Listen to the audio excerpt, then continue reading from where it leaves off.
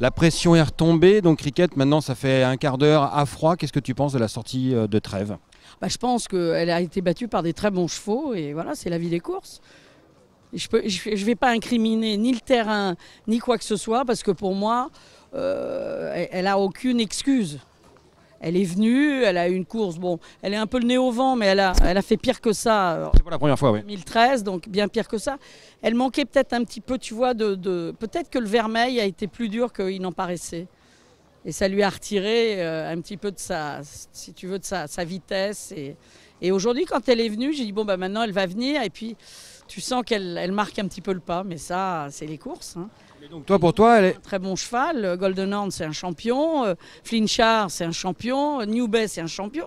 Je veux dire, ces chevaux-là, euh, tu sais que pour les battre, il faut avoir une certaine surmultipliée. Parce qu'elle allait aussi vite que d'habitude aujourd'hui. Bien sûr.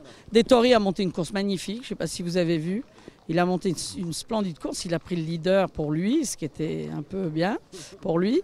Il a repris et puis il a placé une accélération et elle n'a pas pu venir le faire, c'est tout. Et moi, dans la descente, je me disais, pourvu qu'il se rapproche, pourvu qu'il se rapproche. Je les voyais, New Bay, trop loin d'elle, si tu veux, devant. Et voilà, et ils sont rentrés dans la ligne droite, ils ont été au poteau, elle est venue et puis elle est battue. Mais elle démérite absolument pas.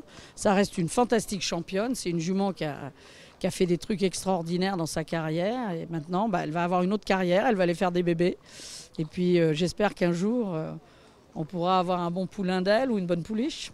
Et d'ailleurs, la foule, euh, bien sûr, n'était pas déçue qu'elle soit un peu déçue qu'elle soit battue, mais l'a très copieusement applaudi à son retour. Hein.